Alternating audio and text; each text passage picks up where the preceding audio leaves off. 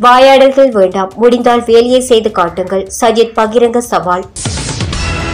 நாட்டின் பாதுகாப்பிற்காக அனைத்து படையினருக்கும் அழைப்பு. அதிபர் ரணில் அதிரடி உத்தரவு. ஏமாற்றத்துடன் மனைவியுடன் நாடு திரும்பிய கோட்டாபய. தந்தையின் பணத்தை கொள்ளையிட்டு காளி நகருக்கு சென்ற இளம் ஜோடி கைது. கொழும்பில் திடீரென களமிறக்கப்பட்ட போலீசார். பல்கலை மாணவர்கள் முற்றுகையிட உள்ளதாக தகவல். காண்டியில் பிரபல அரசியல்வாதியின் ஆதரவாளர்களால் நடத்தப்பட்ட விபச்சார விடுதி சுற்றிவளைப்பு. மூவர் கைது. அமெரிக்காவில் தொழில் புரிய விரும்புவோருக்கான மகிழ்ச்சியான செய்தி. தேர்தலை தடுத்தால் நீதிமன்றை நாடுவோம் சுமந்திரன் தேர்தலை நடத்த நிதியில்லை என்ற தர்க்கம் அடிப்படையற்றது. உதய கம்பெனில கொழும்பு டெக்னிக்கல் சந்தியில் திடீரென ஏராளமான போலீசார் மற்றும் கழக தடுப்பு பிரிவினர் குவிக்கப்பட்டுள்ளனர். அத்துடன் நீர்த்தாரி பிரயோக வண்டி மற்றும் போலீஸ் வண்டிகள் அப்பகுதியில் நிறுத்தி வைக்கப்பட்டுள்ளதாக எமது செய்தியாளர் தெரிவித்தார். அனைத்து பல்கலைக்கழக மாணவர்களின் எதிர்ப்பு நடவடிக்கை ஒன்று கொழும்பு டெக்னிக்கல் பகுதியை முற்றுகையிட்டு இடம்பெறவுள்ளதாக தகவல்கள் தெரிவிக்கின்றன. இதன் காரணமாகவே அப்பகுதியில் போலீசார் குவிக்கப்பட்டு பாதுகாப்பு நடவடிக்கைகள் பலப்படுத்தப்பட்டிருக்கலாம் என கூறப்படுகிறது. பயங்கரவாத தடை சட்டத்தின் கீழ் தடுத்து வைக்கப்பட்டுள்ள வசந்த முதலிக்கு இன்றைய தினம் நீதிமன்றில் முன்னிலைப்படுத்தப்பட உள்ளமையும் குறிப்பிடத்தக்கது.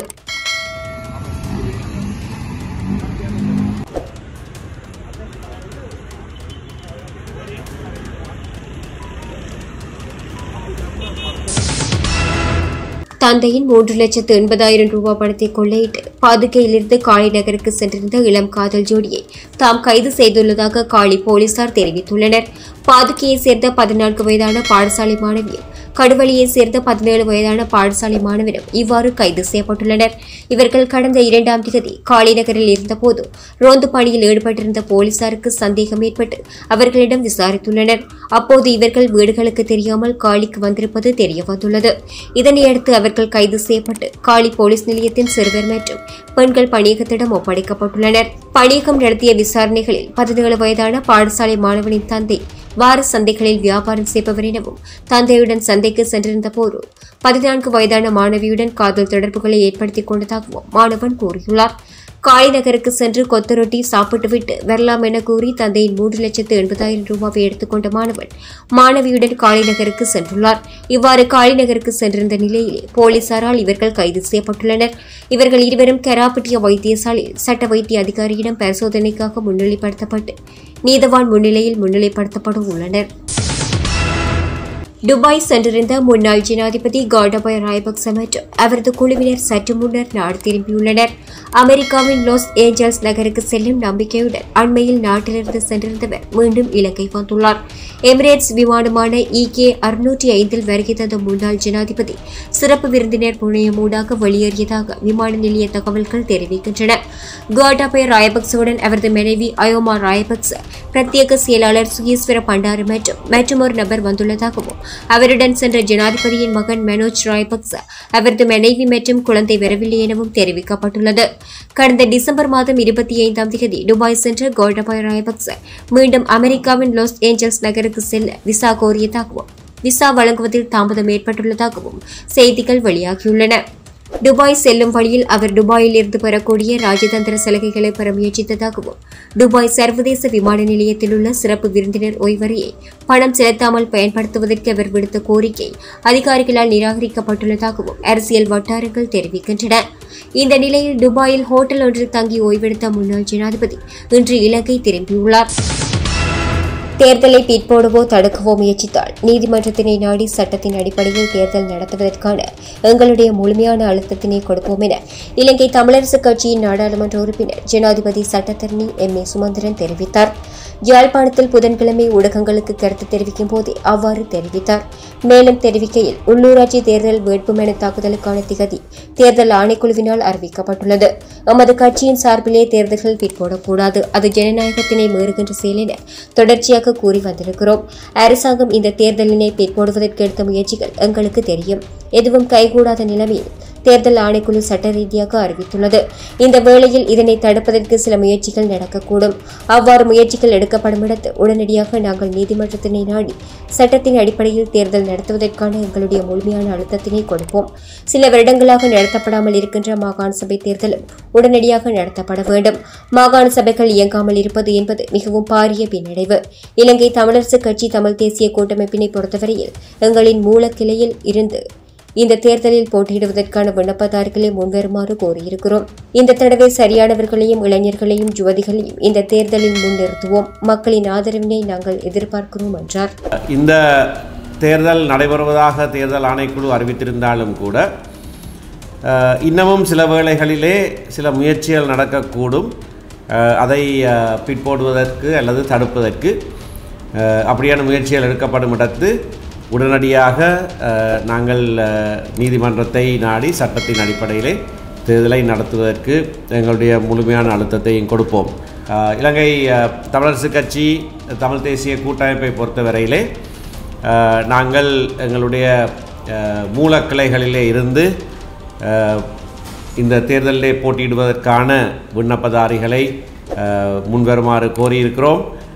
மூலக்கிளையின் அனுசரணையோடு மூலக்கிளை ஊடாக எங்களுடைய தொகுதி கிளைக்கு இந்த விண்ணப்பங்களை அனுப்பி வைத்தால் இந்த தடவை சரியானவர்களை உரியவர்களை இளைஞர்களை யுவதிகளை நாங்கள் இந்த தேர்தலிலே முன்னிறுத்துவோம். நாடு பூராகவும் உள்ள அனைத்து படையினரையும் அழைக்குமாறு இலங்கை அதிபர் விசேட உத்தரவொன்றை பிறப்பித்துள்ளார். இன்று பாராளுமன்றத்தில் குறித்த விடயத்தை பிரதி சபாநாயகர் அஜித் ராயபக்ச தெரிவித்துள்ளார். தேர்தல் ஏற்பாடுகள் காரணமாக நாட்டின் பாதுகாப்பிற்காக ஆயுத படையினருக்கு குறித்த உத்தரவு பிறப்பிக்கப்பட்டுள்ளதாக கூறப்பட்டுள்ளது. பொது பாதுகாப்பு சட்டத்தின் பன்னிரெண்டாவது பிரிவிற்கமைய அவருக்கு வழங்கப்பட்டுள்ள அதிகாரங்களின் பிரகாரம் இலங்கை அதிபர் ரணில் விக்ரமசிங்கே இந்த உத்தரவை விடுத்துள்ளார். சில கட்சிகளுக்கு சஜித் பீதி ஏற்பட்டுள்ளதாகவும் ஐக்கிய மக்கள் சக்தியின் அபிவிருத்தி வேலை திட்டத்தின் மூலம் சில அரசியல் கட்சிகளின் இரட்டை வேடம் அம்பலமாகியுள்ளமையே இதற்கு காரணம் எனவும் தெரிவித்த எதிர்க்கட்சித் தலைவர். அண்மைய தினமொன்றில் தபோத்தேகமா தேசிய பாடசாலைக்கு பேருந்து வழங்கப்பட்ட போது அந்த பாடசாலையின் பழைய மாணவரான கட்சித் தலைவர் ஒருவர் கிண்டல் அடிக்கும் விதமாக பேசியதாகவும் அவர் தெரிவித்துள்ளார். கோமாகமா மகா வித்தியாலயத்திற்கு பேருந்து வழங்கும் நிகழ்வில் உரையாற்றுகையிலேயே அவர் மேற்கண்டவாறு கூறியுள்ளார். தம்பட்டம் அடிக்கும் விவிஐபி சோசலிஸ்டுகளின் பொய்யான வாயாடல்களை ஒதுக்கி வைத்துவிட்டு முடிந்தால் எதிர்க்கட்சியில் இருந்து கொண்டு சஜித் பிரேமதாசவுடன் இணைந்து மக்களுக்கு சேவை செய்ய வருமாறு அவ்வாறு இல்லாமல் பொய்யான வாயாடல்கள் மற்றும் கிண்டல் பேச்சுக்களை கூறி இந்த பேருந்து வழங்கும் திட்டத்தை நிறுத்த முடியாது எனவும் சஜித் பிரேமதாச சுட்டிக்காட்டியுள்ளார். இருபத்தி ஐந்து சதவீத இளைஞர் பிரதிநிதித்துவ தேர்தல் திருத்த சட்ட மூலத்தை கருவியாக கொண்டு உள்ளூராட்சி மன்ற தேர்தலை பிற்போட அரசாங்கம் அவதானம் செலுத்தியுள்ளது. தேர்தலை நடத்த நிதியில்லை என்ற தர்க்கம் அடிப்படையற்றது. நான்கு நாட்களுக்கு அச்சிடும் நிதியை ஒதுக்கினால் தேர்தலை நடத்தலாம் என பாராளுமன்ற உறுப்பினர் உதய கம்மன்பில தெரிவித்தார். பிவிதுரு ஹெல உரிமைய கட்சியின் காரியாலயத்தில் புதன்கிழமை இடம்பெற்ற ஊடகவியலாளர் சந்திப்பில் கலந்து கொண்டு கருத்துரைக்கையில் மேற்கண்டவாறு குறிப்பிட்டார். அவர் மேலும் குறிப்பிட்டதாவது உள்ளூராட்சி மன்ற தேர்தலை நடத்தும் நடவடிக்கைகளை தடுத்து எழுத்தாணி ஒன்றை பிறப்பிக்குமாறு கோரி அரசாங்கத்தின் பங்காளியொருவர் உயர் நீதிமன்றத்தின் மனு தாக்கல் செய்துள்ளார். இந்த மனுவில் பிரதிவாதியாக நிதியமைச்சின் செயலாளர் எம். ஸ்ரீவர்த்தனவின் பெயர் உள்ளடக்கப்பட்டுள்ளமை ஆச்சரியத்திற்குரியது. உயர் நீதிமன்றத்தில் இந்த மனு விசாரணைக்கு எடுத்துக் கொள்ளப்படும் போது நிதியமைச்சின் செயலாளர் நீதிமன்றத்தில் முன்னிலையாகி நிதி நெருக்கடி உள்ளது. ஆகவே தேர்தலை நடத்த நிதி ஒதுக்குவது சிக்கலானது என குறிப்பிடுவார். இந்த நாடகத்தை பிரிதொருவர் திரைமறைவில் இருந்து கொண்டு அரங்கேற்றுகின்றார்.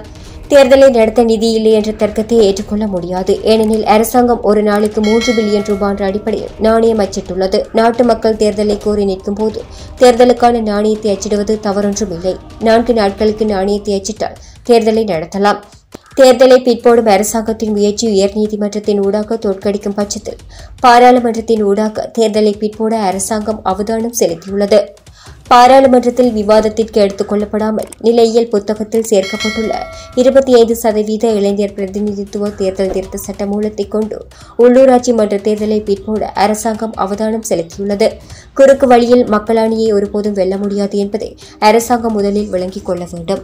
மக்களாணிக்கு முரணாக செயற்படும் போது அரசாங்கத்தின் மீதான மக்களின் வெறுப்பு தீவிரமடையுமே குறைவடையாது. ஆகவே சூழ்ச்சிகளை வகுக்காமல் உள்ளூராட்சி மன்ற தேர்தலை நடத்துவது அரசாங்கத்திற்கு நன்மை பயக்கும் என்றார்.